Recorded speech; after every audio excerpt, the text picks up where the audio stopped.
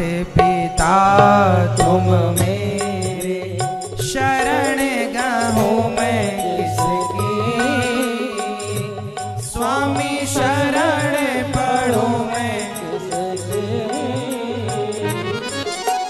तुम बिन और ना दूजा, प्रभु बिन और ना दूजा।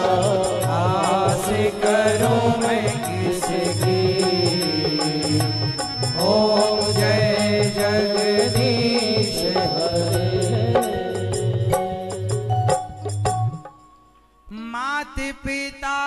तुम मेरे शरण गहूँ मैं। स्वामी शरण पढ़ो मैं। किसकी तुम बिन और न दो जा प्रभु बिन और न दो जा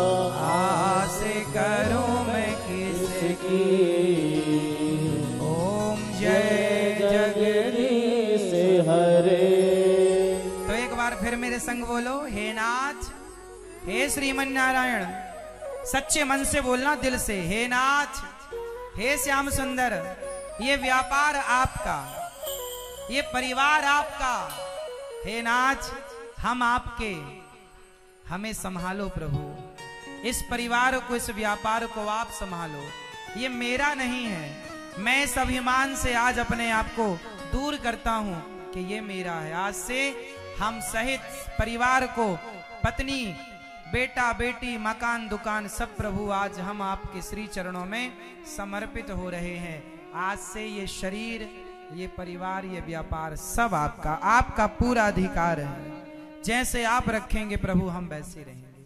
अब आप जानो, आपका काम जाने। कर्म करो। ये मान कर नहीं कि ये मेरा है, ये मान कर कि ये सब प्रभु। ठीक है? एक चौपाई मेरे संग जरा बोल दो हमें अच्छा लगेगा। नाथ सकल, केवल इतनी। नाथ सकल। ना थोड़ा ज़ोर से बोलना। नाथ सकल। ना संपदा तुम्हारी नाथ सकल। संपदा तुम्हारी। मैं सेवक समेत सुत नारी। मैं सेवक